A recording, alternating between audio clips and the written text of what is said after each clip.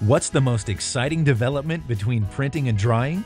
It's Passport, the world's first successful auto unloader for textiles and the perfect bridge between your press and dryer.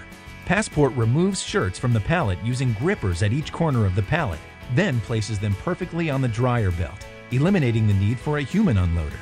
Ask us about it. You may not believe it even after you see it, but it's real and it's turning heads.